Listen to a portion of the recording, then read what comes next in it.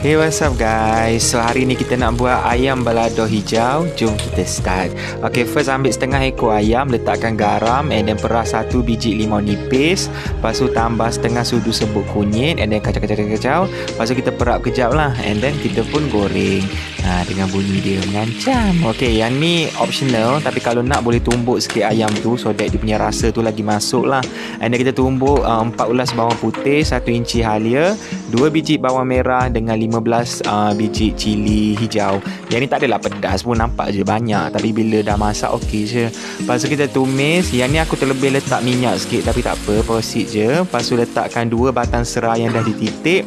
And then daun limau daun limau purut aku selalu confuse purut ke kasturi. Lepas tu tambahkan uh, garam dengan gula sikit and then letakkan ayam tu tadi kacau and bolehlah hidang dengan nasi putih. Selamat mencuba